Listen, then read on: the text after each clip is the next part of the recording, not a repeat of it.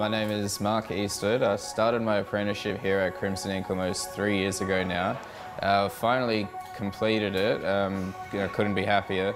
Barb had conveniently opened her shop not far from where I was living at the time and um, within the first couple of months of them being open I applied for an apprenticeship and thankfully got the job.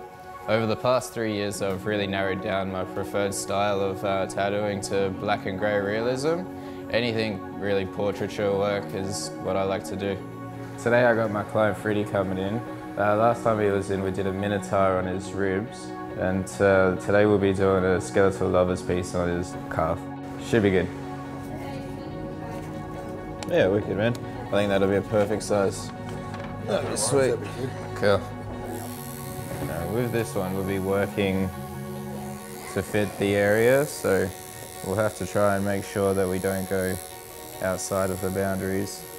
So that's the one thing that we have to be careful with. All right, you ready, mate? Yeah. Wicked.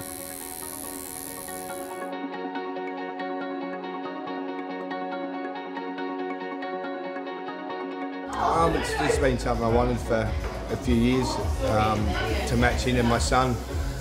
I got my son's name down there and um, he wanted a picture around it so I thought I would get that because I got that one around with my other son so my youngest one thought well you should get one for me so that's what I'm getting.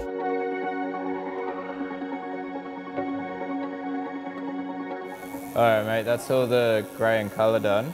We're just gonna start on the white now, just to put some highlights in. Sweet.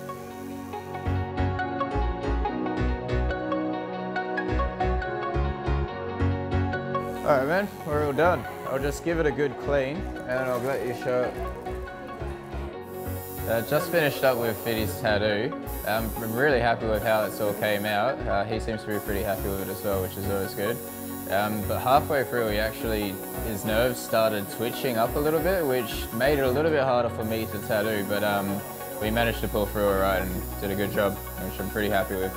Yeah, it's um, turned out really well, a lot better than I expected actually. It looks really good, so I'd recommend coming here and I'll be back I reckon.